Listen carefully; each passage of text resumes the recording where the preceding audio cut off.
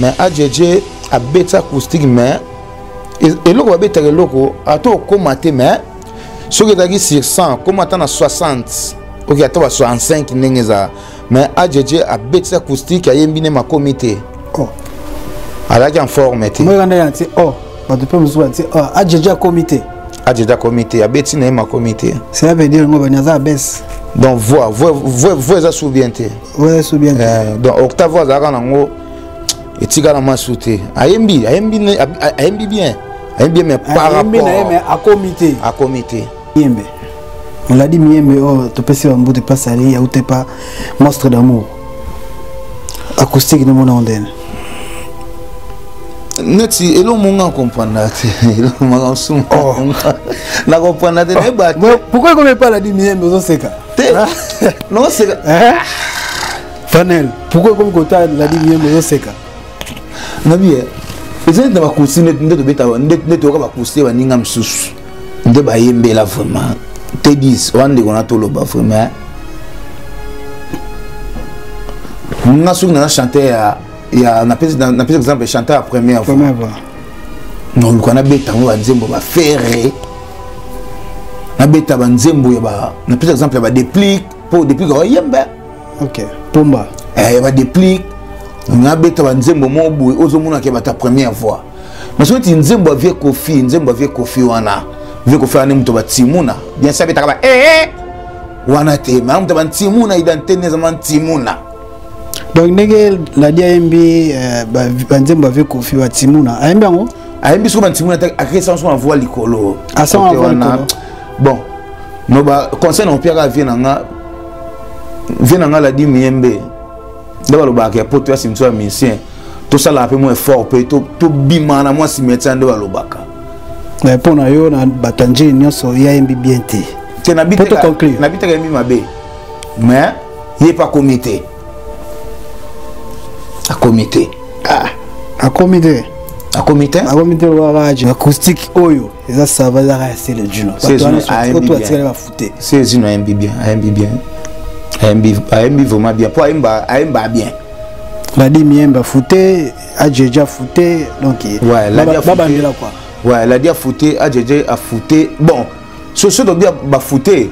en tout cas wana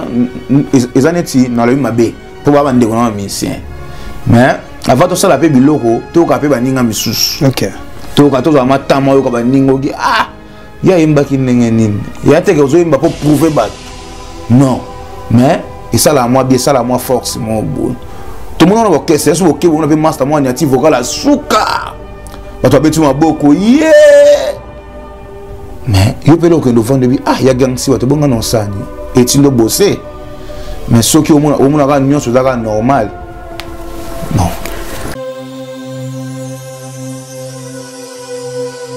balobi tobosana te lisalisi fete otie koli lelo partout dans le monde lobi nango bazwi otie lelo na paris lobi na kini bazwi otie na paris moto etats-unis azwi otie bino babi emameya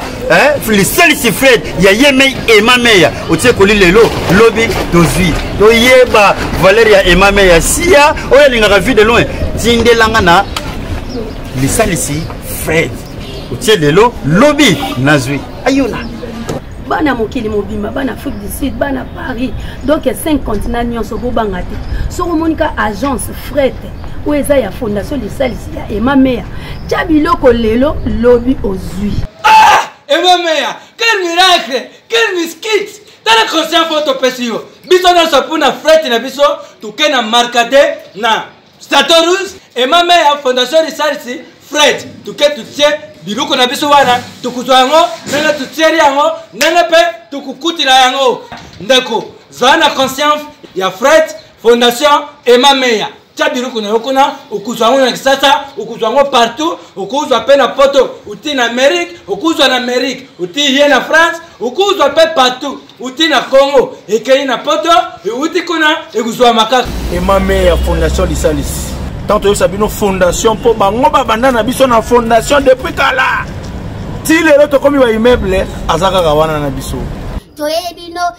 ema meya fondation fret ofretaka biloko no wapi okotisaka biloko wapi esalaka ba 2 ans 3 ans mpo ekoma olembi mais awa nde makambo ah, bato apoye nde tozolinga mpo makambo ekende liboso otye biloko ne lelo ozwi lobi otye lelo ozwi lobi ngai nakomandaki lineti na ngai lobi lelo nazwi yango nalati awi ah toza mosika te na france eh? na france na remarka te bana chateau rouge bayebi makambo nazolobela bana chateau rouge bayebi makambo nazolobela biso erataka te frete biloko no mituka na yo ndenge olingi frete yango biloko na yo frete awa ah, frete aplis mbongo moke biloko ebele ah emame ya fondation lisalisi frete yo nde makambo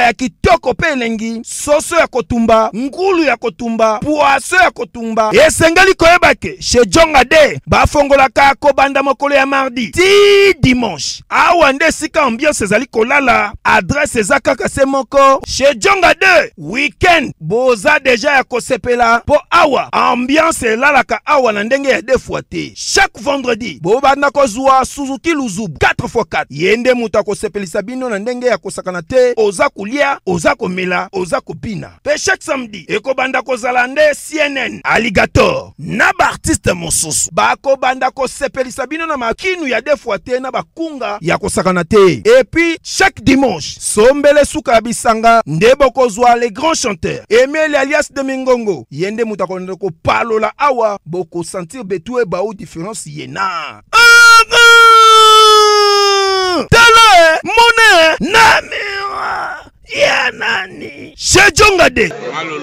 Oui, frère, Babi Tchonga, futur, futur, hein? moto akosala 50 boite na kati ya kin sejongaske soki olingi osala bareservation obengi na banimero oyo mpe bakoservir yo joli kitoko shejonga de yango nde moboko ya ambiance na kati ya paris se naturel soin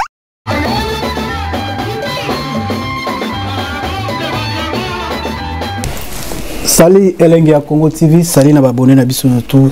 tresi mbelenga pro la main magique ya glodi ya suka merci na babone nyonso tu opesaka biso litoyi merci na bino mpe na bafélicitation na bino mpe na bacritique na bino oyo nyonso olandaka biso na chaîne na bino elenge ya congo tv na sami crob tv na globalité moscou ya trésor kachi na maître ya spp ya boga mpe kuna na sami crob epa Patrick Masidi Sidile mwana mère na Tim TV pe pa mère Bondei na États-Unis na mwana musika Pichuna Amado ya Aimé ba salutation place ya aller Benetuloma Benetuloma grande dame na kati ya Paris ba salutation Francis Mateta Francis Mateta et euh, ba salutation place j'espère que bozolanda biso bisika bozali ba bonsoir ba bonjour ça dépend na heure bokutana biso na émission oyo oleo toyambaka baartiste toyambaka bamarke nyonso tu bato nyonso tu oyo aza na mposa ya promotion aza na mposa ya publicité aza na mposa ya, ya tu bocontacte biso na chaîne na biso elengi ya congo mpe na tim tv mpe na globalité moscou mpe na sa microbe tv banimero na biso eza wana oyo eza plateau moko awa na kati ya paris porte de paris na soki okomi kaka juste na porte de paris wana obengi banimero wana boza mobimba nayebi ke bino nyonso tu boza bien toleka batamboka bien na bino nyonso tu toyambaka bato nyonso tu oza commerçant oza artiste oza comédien oza entrepreneur bato tu nyonso tu toza wana mpo na bino merci na bino nyonso tu nayebi ke on est ensemble euh, jackson bunga ba ba bonne guérison place wali euh, dix fois puissance ba bonne guérison place wali la Joss Muzungu la bonne guérison peut placer aller merci na bino surtout eza ya bino T10 na chaîne na biso Elengi ya Congo TV j'espère que vous que tozala invité na biso invité na biso c'est la première fois na yamba ye aza chanteur akopesa biso parcours na ye mpe akopesa biso na baprojet na ye oyo aza nango pour l'instant pour l'instant nini azosala nini asali banda aza awa na mboka ya poto tandis toyoki balaki awa na poto eza cimetière l'artiste mais l'artiste bazobima mpo tozalaki tomonaki mosala yango toinvitaki ye tozalaki biso moko quelque part epai na vie na biso mbutalombi tomonaki evre ne ezobeta tokendaki mpe mpa bato mosusu oyo tokotanga bakombo nyonso tu te tomoniki evre ezobeta acoustique moko kitoko ndeko na biso abeti me tokola ye moko aza sur place euh, fanel bacho fanel bacho j'espère que vie na biso edino image na nsima caméra lelo aye kosiste petit na ye donc on est là merci vieux na nsima ya kamera okofungola biso deja okofungola biso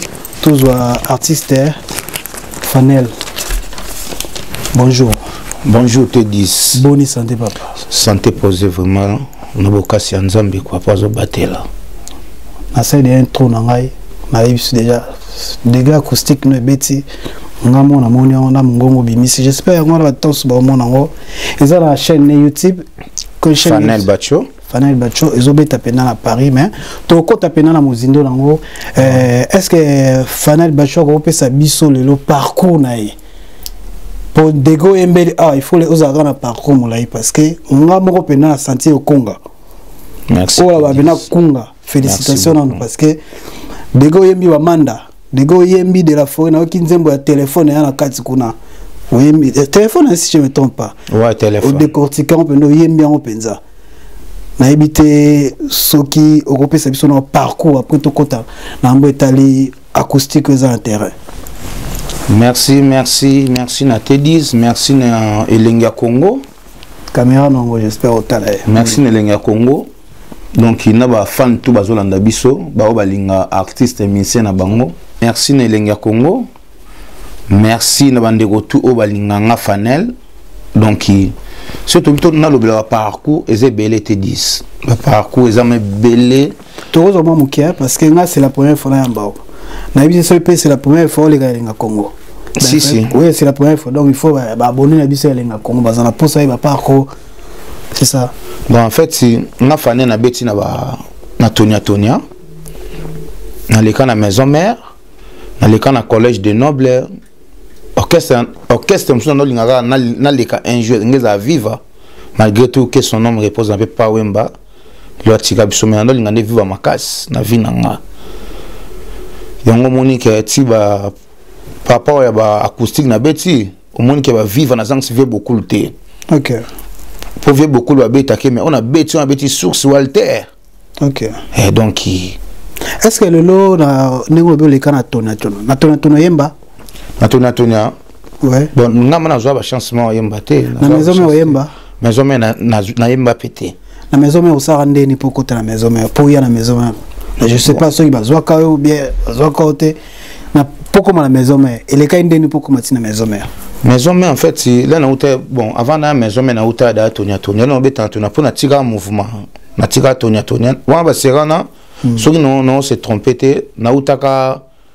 Sénégal nauta Sénégal lelo nauti Sénégal na ye nazala na master na mobi natangaka nkombo naza mpe awa master na mosika platini lupine 1000 bi master mo donc na, na vie na moni bato basutena bato mais master ana na bato toujours nzambe apambola ye master amoi kaka nakendaka toni atoni yebi kaka orchestre ya ba ya bakongo nde ezala okay. abike fane na mitso ndenge oza boye foki maison mère bakutana vie na mobe patou bonioko bakutana balinga masolo patou bonioko nyokola image ouais. okay. wana aza ma pire vie okay. bete ono vani ma face na biso na congo kua balingi bulo abike yo olo foki maison mère ngabi atonoke ah, kabi te totya desme fo travaille banzembo na bango na travaille banzembo jour nakenda mpe nabeta tantan esimba simba nakenda mpe barépétition ndenge ezala mpo ngai na bagénération soki maison basenga akenda beboa bazalaka batade beritier ntango okomaka na maison mare oui. euh, po, euh, maison mare ezalaka teste oui. na asaka effort mpo mpo olomata podium na bagi olobaki patu bonioko komata na podium wana ezalaka facile te osali ndeni mpo omata ti na podium bon avantage ya maison mare eza société monene mpo kuna mpo bazwa fo bureau no ekekotisa nanu lettre donc bapesi yo affiche osombi affiche ezalaki 5 dollars okoti après sikoyo baotiso na programme ya soki osala test na répétition ya mercredi oyebi ke mercredi na osala test baobengo na liste babengi na liste omati likolo osalaki test eh. tokozwa idée ya nzembo nini oyembaka ya test joa baimage eza baimage soki na otrompe te vie na ye dino ayebi baimage eza ba image mais eza na mère na mère Nisha na Viri Chation supérieur du quartier ayebi donc osala test na nzembo ne nayemba telefone eh. oyo oh, kaka oyembi na acoustique ouais nayemba telefone image eza eza ba youtube nayemba telefone tema nolinga nzembo trop tokoyoka mwa moke oza artiste ya eh. tv eza radio to toyoka mpe mongongo avant toyoka acoustique parce que totia estre o oh. nde toza kaka ifo bayoka mwa son parce toye listan mpe na kati ya émission bato balo na biso babone na biso eleka na kati awa mwa quelque estri tolekisa yango mais tolingi toyoka live mongongo ya ya telefone merci nasina walisekwi na ngai na maboko na yo loba liloba moko ebikisa ngai ye fani imanje etikala na bongo na ngai ye kaka ya moswali ozalaki kopepa nga merci merci ah ouais, merci vraiment félicitations mongo eza te nasanzi mpenza travail ezali travail ezali après nakoloka maison mare parcours no kenda lisusu parce que maison mère yango beti te ni vocal ni eloko ni esaki kino oyemba te na maison mère bon nga eloko mesala nayemba te na maison mère ezalaki par rapport ya voyage na nga ntango nga naokende barépétition na la zamba wana na ndoki ema na boule ko mm. donc nabima vraiment nzambe asunga nga mais ezala eza mpe mabe te geni wara na grande sœur na nga sophie yuya na grand frère choupi dingan basalaki mwa effort basali nga voyage da mikili basali nga voyage ya mikili mm. telobana bien germe basali nga voyage ya mikili donc ntina nga na voyage ya brisque okay. eh, na voyage ya brisque vraiment ntina yaki mikili donc natika orchestre batuku bayebaki te alors yo na maison me oyemba te eloko esalaki non mpo oyemba te voyageezatote a voyage ouais, voyage voyage ya, ya poto ya, ya poto ya, ya poto ntango oye na poto a ah, premier orchestre no ezalaki na poto oyemba na poto awa ah, na ye donc tozalaka na orchestre orchestre moko ezala na poto awa toza na groupe moko na poto eza wenge pusa tovanda mais bandi na banene mpusana tovandaka na oyo moto achapotaka kuna eza emeli alias noko lias basalitation place ya babonane na ye ebandi na nde nini batemp oyo noko lias nano nga bet nga na, na leka na orchestre ya noko lias na kin na kin eh, lenga longwa wenge ana vraiment nga leka na orchestre noko lias tila na ka lena epe mikili na ekuta noko pe bon ba 50 dollars ba 50 biso toyaki pusan tovanda ezali nono te wana tobeta ve di no nayebi te soki nao balokuto be euh, nao baya solo tozali nao bana lomière à l'époque tondo beta bandule na, na métro hoche chez fondé chez fondé na métro hoche wana bamouvement yango ezali azali vraiment te ti lokola ngai novanda loin nazalaki bakota bagrini kuna la nayebima kote ya ba 9 3 après sikoyo noka bike fanel mais orchestre oyo eza pusa tovanda eza ya bino eza ya bino donc fo yaka a totisa poids wana sikoyo yebisi sikoyo leki ne fanel mm. yango moni tila tokei lisusu babilisaka mwa suka elongi te moko emo aza da force na biso la toye totie ngo sous force sikoyo nalinga nayeba ntango okoti na wenge pusta tovanda oui. ezalaka orchestre oyo ezalaka groupe bobenganaka bengana bosangani boke oyemba ntango mosusu nde bobetaka na jongana baplace mosusu babengaka bino bobeta eza orchestre obi ezalaka kaka groupe moko d'accompagnement omeli asangisaka bato je sais pas nayebaka mpenza structure nango tokoki explike bato bakolanda biso mpo chaque week-end bawana epa jonga merci merci mpo na question mposa tovanda eza groupe nde tomonaka nde tomona lelo tomona na, na, na kin bafere ba bana bagroupe mpo hmm. emele alias aza grand ah ouais, ouais. aza grand emele alias aza grand v aviemo abeti 3 wenge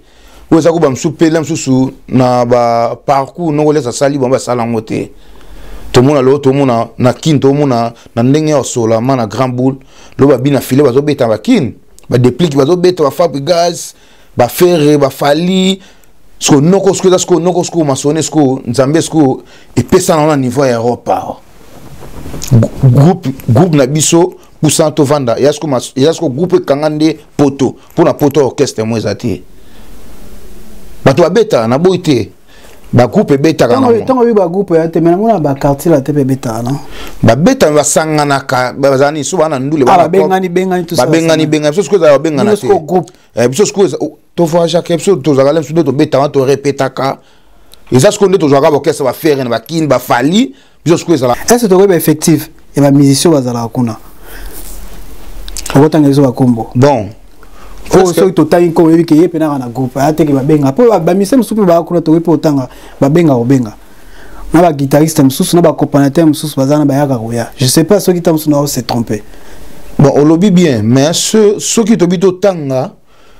donc aux en europe en afrique te yo te lem su groupe okay. ya posa to vente aux en poto mm. mais sobi omona bango sobi pas djongo au mona ke ba o bazala wana ya ka teke fona tanga ka ba kombo ba ba collecte ba zebele donc sono tanga ba kombo ne pona sa ba pi ba te non lo bende poussant to vendre emelia alias donc so to ko lo ba lelo yo nde tomonaka pusana tovanda wana bamusicien tout bazalaka na bamusicien emelia te baza so babibi baza emelia baza emelia te parce que eza orchestre eza na orchestre parce que zela naoka to te so nalobi bongo pourquoi ndenge biso tolobaka hmm. na ndenge ya kikongo ouais. un musicien ntango omona maison mère omona eza ya wera ozomona bcbg eza ya papa chéri ozomona la team si, si. Héritier Wata. Ozomona euh, orchestre Fabrigas, eza ya Fabrigas. ya ndenge moko ntango olobi ke orchestre awa na poto ezala kaka pusana tovanda yango na babi lider nango eza emelia groupe groupe donc comme fali mpe aza mpe na groupe ah, seko ozongi ke eza groupe da compagnement wato compagnie na biso na poto mpo ah, nga nabetana na orchestre ya emile alias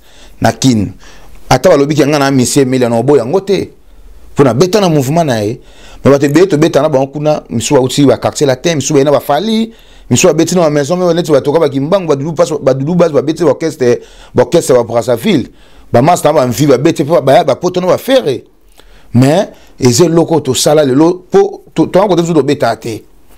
eza groupe tokompania no na biso okay. noko lias omoni naotisa da noko na biso okay. mpo azalaka bien na baleki na ye antuka tokompaniaka ye mpo toke liboso bobandaka ne ndeni emile alias noko lias hmm. nde omonaka ye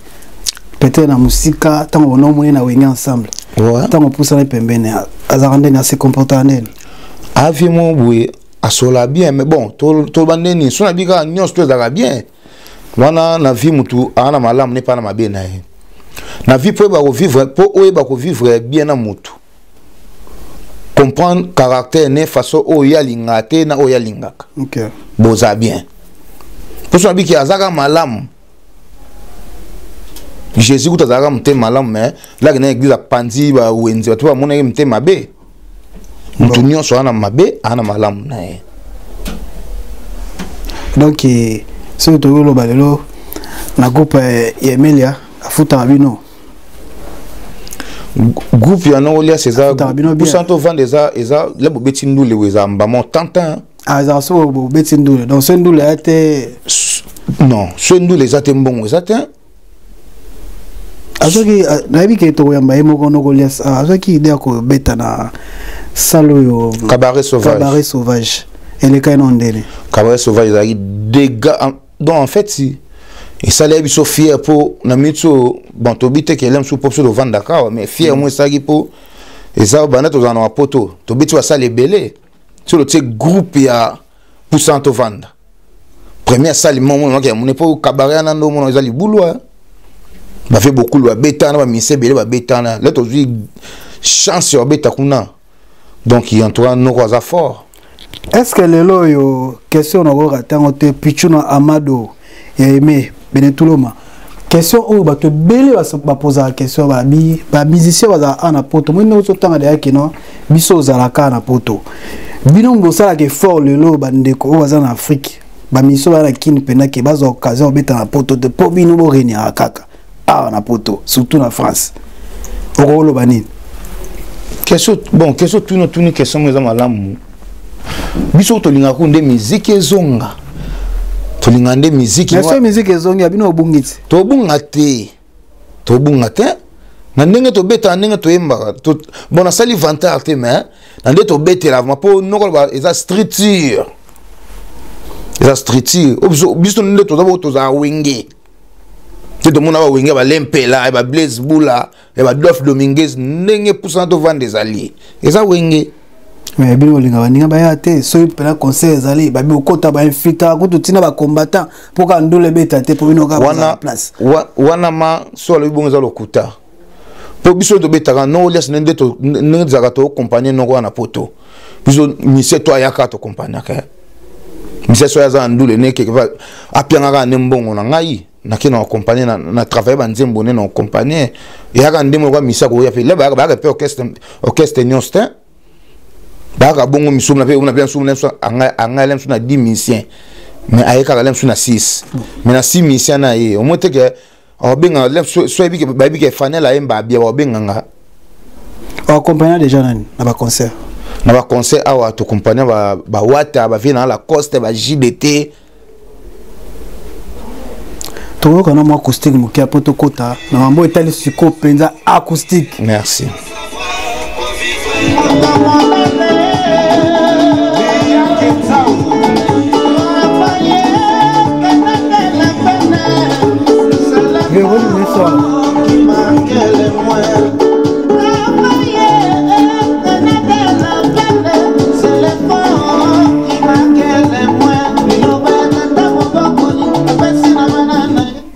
oyo nzembo na oyembe eza el paris el paris apparemment namoni na acoustique otokota na acoustique acoustique obeti ya kitoko félicitation euh, dego oyembi ozoni nsengo bimisi na sentir okoka manda chante euh, namoni oyembi mingi banzembo ya, ya wenge kaka ya clan wenge mpo ya nini coterie faut kaka wenge nayebi te donc en fait nabeti banzembo nyonso eza ya wenge te eh, nayoki papa mbeya na kati mais eh, majorité wenge moto ya na kati wana non wenge nabeti kaka de wenge nabeti de abeti el paris na, na vieux wera identité côté mpe na leka ok sikoyo namoni place moko wana oyembi ya, ya walter ouais, jean paul walter okoyokisa biso yango te na, na, na nini parce que toboya kotia so mingi eza youtube badéclaration yalaka so totie ntango molai mais tokoilistre ya quelque nini bato baolanda biso mpo bamona yango tokozwa mwa walter ka mokie Parce wana mama na chant ya papa Wemba. Jean-Paul Walter lolaka ntongo ekobeta ngai nano na mpongi ekweleli nga lokola kaka ndoto ya baba ndenge nini nalimbola ngai ye aye aye aye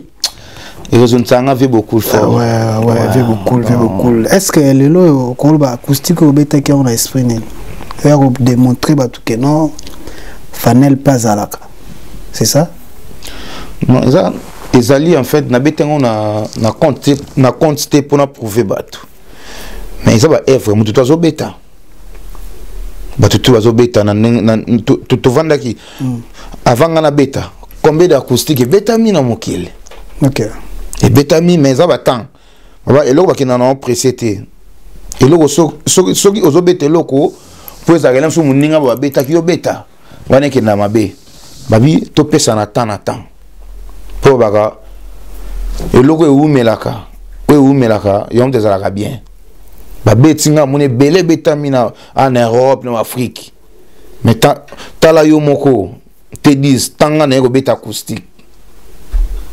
te obeti yango kitoko eza combien de minutes eza combien de minutes eza na si ba 25 minutes hein? 25 minutes combien de chansons emi na kati 5 chansons 5 chansons mm. na 25 minutes ouais félicitations totala par rapport ba, ba oza na mwana ya commune nga na mwana ya bakomi nyonso mais précisément njil vraiment ya mwana njil bon polémique te mais tokota kaka na mambo etali bana njili parce que bana njili mpe babeti ba acoustique baye belair donc ekala bana njili oyo babeti ba acoustique fanel mm. na nde ya mabe te okai eh, acoustique ya selezino mec d'ici bon via via via ayembi bien ayembi bien mais ayembi ma kitoko acoustique na eza bien te ayembi bien via yemba déjà bien mpaka na sezi no ayembi bon chanteur ayembaka bien abeti yango mpe posé ayembi ma bien côté wana rien à dire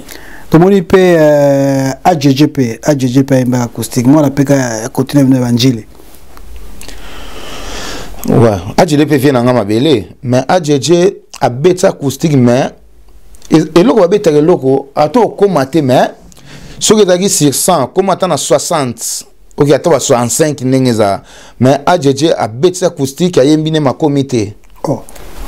azalaki en forme te moyekanda ya te o bato mpe mosusu bati oh, ajeje akomi te ajeje akomi te abeti na ye makomi te cela veut dire ngo bani aza abese donc voix voix voix eza sous bien te voix sous bien te eh, donc octave azalaka nango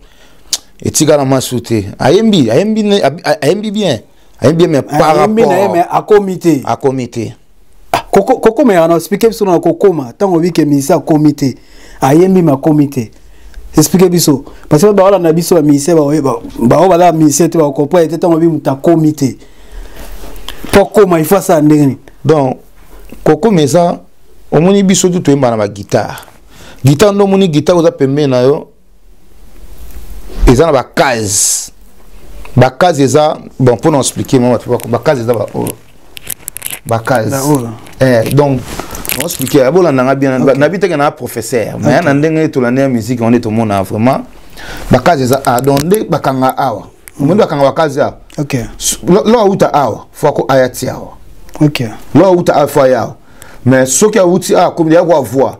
voix so obeti da na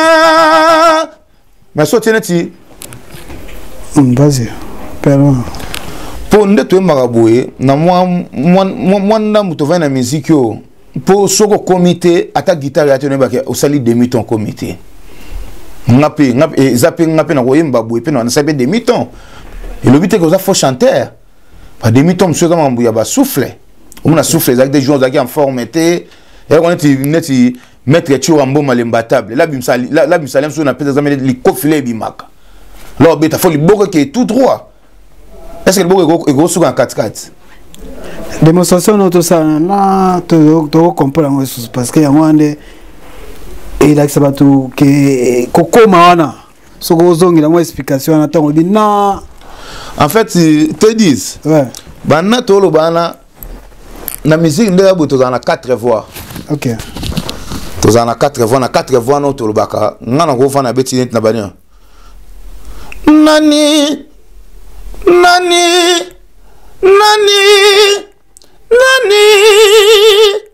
4 voix oyo liboso ezalaki nini donc nabandi deuxième voix lourd deuxième voix lourd nabeti deuxième voix léger, léger. première voix première voix tenor tenor yo simo osiko oza nani bon nga nga na polvalant polvalant nasala se nasala ape likolo so awa so oyoki na acoustique oyo nabeti so olandi omona nabeti bavie manda okay. nabeti bandeko na nga arc-en-ciel zola obeti ibrahim hein? Ah, bayemba na nabeti ibrahim te nabeti oyo eza dudu niwa nzembo ah, nayembaki ndeko mosusu asalaki eh, acoustique ka ya mwana njili ladi miyembe ladi miyembe oyo oh, topesi bambutu epasali yauta epa monstre d'amour acoustique na mona ondene neti elo monga okomprendre te elo monga osuma oh. na comprendre te ne ba pourquoi comme pas la dit miembe ozo seka te ah. non seka eh?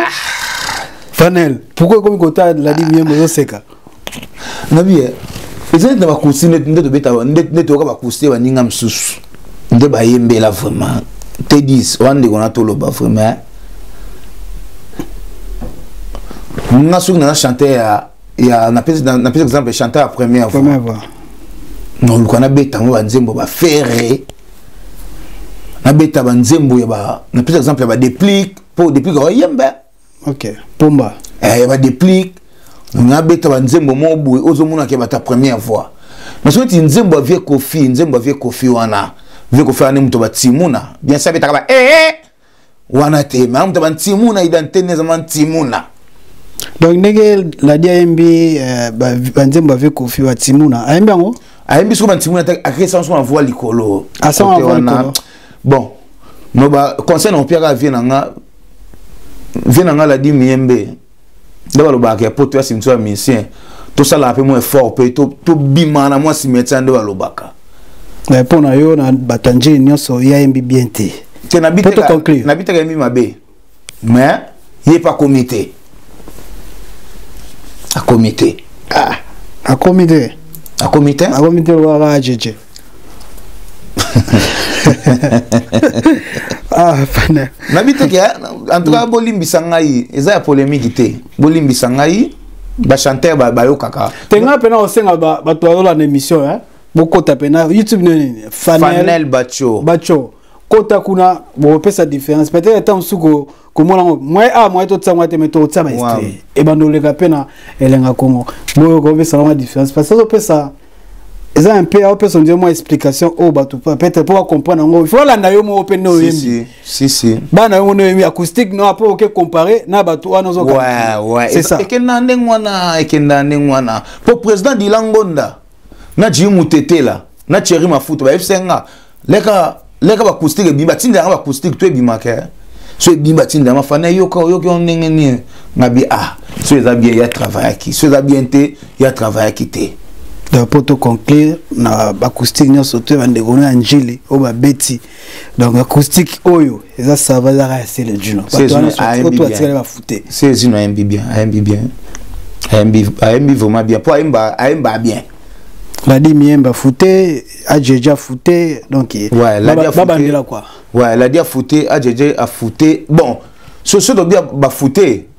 en tout cas wana eza neti nalobi mabe mpo baa bandeko na bamisien mais avant tosala mpe biloko toyoka mpe baninga misusu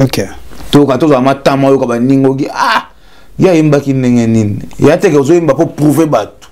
non mais esalaka mwa bi esalaka mwa force mo boye tomoni wana baorchestre yesu bokeba kuna mpe masta mwa niati vocal asuka bato babeti maboko ye yeah! mais yo mpe eloko okende ovanda ebi ah ya gangsi bato ebonga na osani etindo bose mais soki omonaka nyonso ozaka normal bon est ce que tokoyeba liwa ya jene jene euh, defao ekutelaki yo wapi na position nini ntango oyokaki mpe sango wana ah. babiso name repose en paix na vie na nga général de fois nazwa na vie na bana za mon geti na kola nazwa nazwa ma chance wa yemba te mais na yemba ni na concert mo na espace noisy le sec to répéta na e to za ki ne vieux mon gentil mais et puis c'est mawa et puis c'est mawa et puis c'est mawa vraiment to donc nga non OK ma fort vieux moi sur la bien à problème batute so tali ka boye omona kei na e otali eka bongaki ah, te vio ye bosolola mela nokaki sango wana noke pasi noke pasi mais elomo nga na omituna ah, mpo anika soki otali ba bakulutu na biso bagrand pourkui bakoki ekufela kaka na bapays étranger donc libanda libanda eloko wana donc na comprendre na osu te papa wemba akufaki na côte d'ivoire yaki kufa na cameroun anga kufani mpe na congo me ake kufa na cameroun donc na comprendre te eloko wana eyesa biso mpasi makasi kisi na miziki ezalaka kisi na ndule wanga na ebyango te mpo nga azwa batango nsimbo ya kisi wana te yango obima te c'est pas grave mais peut-être so abika so abika kobima ezalaka mpona mobakisi so abika kobima ezalaka mpona kisi misien bamiso abetaka mesure nini mesure religieux donc yango kaka tosalela biso nyonso mpo basala oyo babetaka wana yango mpe kaka biso tobetaka bainstrument oyo bayembela wana yango mpe kaka biso tobetela sikoyo bino bakao musique profane musique religieuse pourquoi batraitaka bino bato masumu na vie na vie osala bolamu osala mabe ezalaka motema no yokati yokati ba misie ya mitema malamu baza te babetaka misie misie profane baza ebele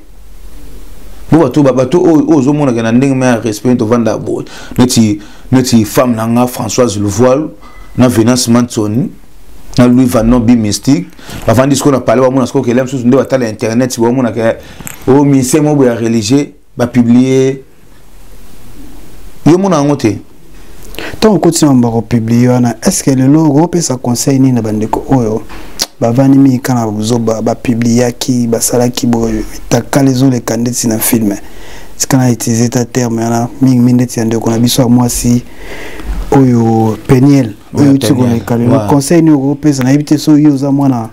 eloko moko okoloba par rapport ya communauté communauté ekiti na se makasi nayebi te soki okoloba nini après na toshite na biso tokɔta na acoustique après toshite soki okoloba nini question otuni eza très capital eh, très capital lelo tomona makambo wana ezoleka trop eleka trop tomona okotaka internet sibwe makambo mais na vie bandeko na mibali bandeko na mibali ma conseil na opesa neti nga naza chanteur nabeta ape paris eyebi monde eyebi mais elingi koloba mpe te ke ngai bato basi badragaka nga mpe te me basi mpe badragaka nga mais na tia respect mo boye wana nga mo na tia respect na za devant émission hein mais na loba ngo na tia respect mo wana nga so na ke mambu ya ndule na ke luka mbongo na ke kopa mbongo kokopa mbongo asangisa yango na mwasi te so na ke na ke mama ndule na ke kopa mbongo na na mwasi na marie te mais na na mwasi na ndako okay. na bota na na mwasi mais na linga na vie na nga nalukaka ma napesa eyaka bamisien te na bato ebele na moki bacomprendre ke ah, soki wana mwasi na yo pesa ye respect wana soki orespecte mwasi na oboni mama basi libanda baopublie mpe te basi na biso e bacongolaise bali trop internet balingi trop bakóma bastar te bizumo eloko ezoboma biso mpo mwasi nano na ndako nde aza boye mwasi akozala no trop internet te mwasi akozala trop ado amipesa vi nomba na internet oyebi ke mwasi asi soki akota internet trop asala makambo boye trop na internet na bato mosusu bakani badrage to akoma odrage mpo amona osila valeur mais en tout cas conseil na opesanga bandeko na basi na biso mpe bamibale donc tomipesa na barespect soki oluki no mwasi mosusu libanda te wana mwasi oza fidèle baopiblie te oza mwa mwasi oza na mobali no pesi ma bolingo mwa bamake ya mère so wana ozwa kala vraiment mpo bato mingi balobaka o oh, kala babolingo wana ndoki ebien mpo internet ezalaka te eza bongo te leo ozolala boye tia mobali no bapriere yo mobali ozolala tia mwasi no bapriere tika ndako no bapriere nzambe abatela bino mais soki mwasi aza trop internet baodrage na internet mobali adragaka basi na internet c'est pas bon merci nayebi te euh, fanel soki okoloba par rapport à acoustique no poto clôturé temps c'est tv eza temps nayebi te quoi wangami mingi olobela te na miso bika totia matoi toyoka tosabone tosabone mwa na chaîne na chaîne na ngai youtube merci vraiment te 10 donc bino ba bato oyo bino bosalaka biso tozalaka hmm. donc bino bosalaka biso donc tosabone kaka na chaîne na bino chaîne na youtube fanel bacho fanel bacho nabosani te bos na biso kula jonga ismael timba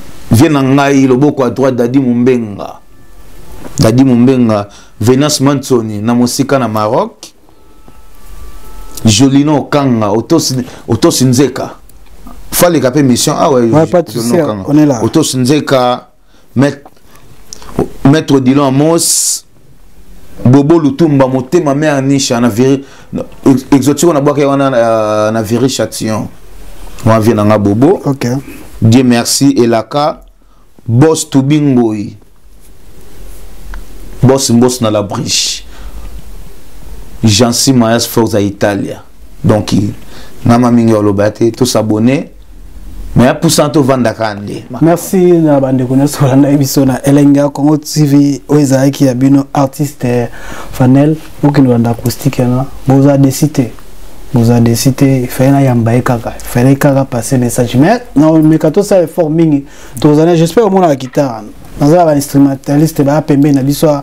tolando ya solo yango na ndenge alinanda ke toloba bino baa misien il faut so toyamba bino il faut toyembisaka bino mwa mingi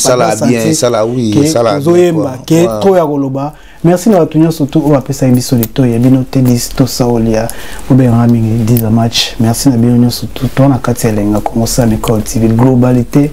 moscou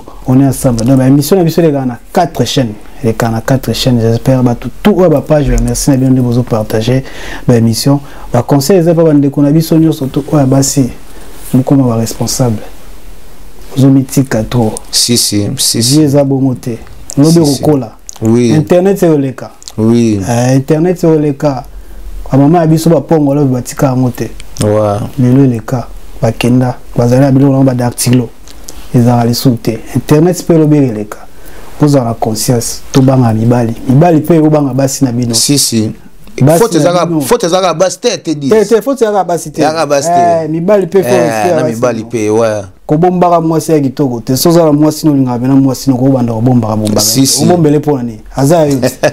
merci na bino elengi ya congo tv Laetitia Touba, la reine de Montréal du Sud, Yakada, Bana Yakada toujours. Merci.